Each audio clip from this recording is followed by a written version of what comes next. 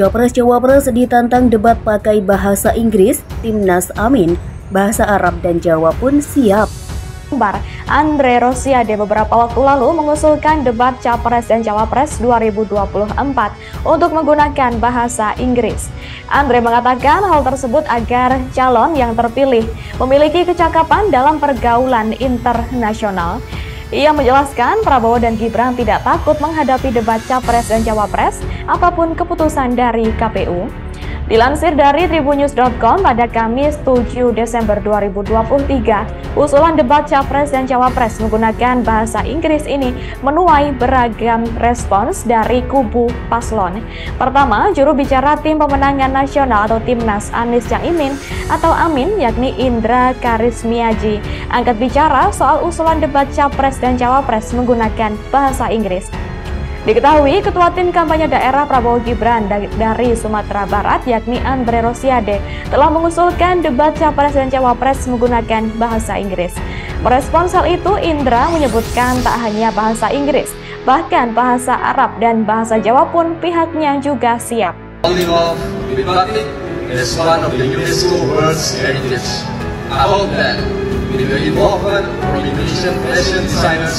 Batik can be part of the global fashion industry. That Indonesian culture can be showcased through the performance in the area of digitalization.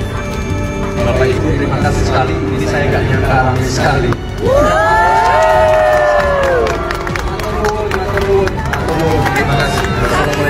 rekam jejaknya gimana, visi misinya bagaimana, isi kepalanya gimana, bisa bedain antara asam sulfat sama asam folat atau enggak, itu kan salah satu yang kita bicara tentang tahu persis bagaimana. Jadi yang nggak beli kucing dalam karung kan intinya kan begitu.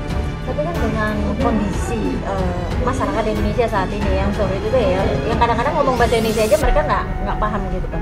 Apakah memang perlu gitu diadakan debat dengan bahasa asing seperti itu? Sangat tergantung dari bagaimana uh, apa yang mau diarahkan ya kan? Kita kan juga butuh seperti Novel Bung Karno yang bisa bikin konferensi Asia Afrika yang bisa buat dunia itu kagum sama Indonesia. Itu yang mungkin kita butuhkan untuk mengangkat derajat Indonesia kan? Pak kalau tim khusus buat debat itu ada nggak sih pada timnas Amin?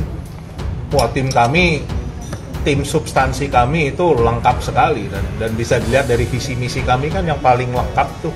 Jadi kalau urusan itu betul-betul isinya pakar semua yang yang tentunya siap dengan dengan berbagai macam isu dan kita tingkatkan justru rasa nasionalisme masyarakat dengan menggunakan debat menggunakan bahasa Indonesia yang baik dan benar.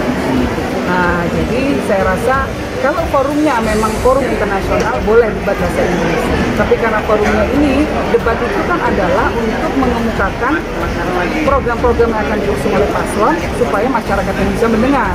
Karena rata-rata masyarakat Indonesia bisa berbahasa Inggris ya. Nah, kalau masyarakat Indonesia rata-rata belum bisa berbahasa Inggris, ya lebih baik debat yang berbahasa Inggris khusus untuk nanti forum-forum internasional saja. Tapi kalau yang diadakan oleh KPU debat resmi ya bahasa Indonesia saja. Kita punya bahasa persatuan kok. Dan ini kan dari KPU sendiri kan udah Yang paling penting adalah mau berdebat.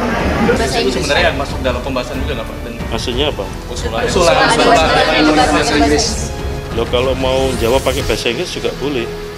Tapi rakyat kita kan bahasa ini bahasa Indonesia. Itu ada ketentuan? Tadi di, di dalam dibahas nggak? Selama kami rapat pakai bahasa Indonesia. Usulan usulan itu. Jadi usulan dapat pakai bahasa Inggris nggak bakalan Nggak ada yang mengusulkan itu. Oh. Kalau izin eh, TKN Prabowo Gibran eh, mengusulkan bahwa debat capres cawapres ini menggunakan bahasa Inggris melihatnya ada usulan itu bagaimana Mas? kita ini kan ada sumpah pemuda mereka lupa itu dengan sumpah pemuda sehingga kita lihat Jepang maju dengan kultur Jepang Tiongkok maju dengan kultur Tiongkok Korea Selatan sampai kemudian ada Korean Pop itu maju dengan uh, kultur dari setiap bangsa. Jadi jangan ubah uh, kultur uh, bangsa ini. Ya hanya dengan kemudian melupakan jati diri kita. Ingat bahwa dengan bahasa persatuan kita ini Indonesia itu mampu mengikatkan diri di dalam proses komunikasi lahir batin dari seluruh masyarakat Indonesia tanpa pernah di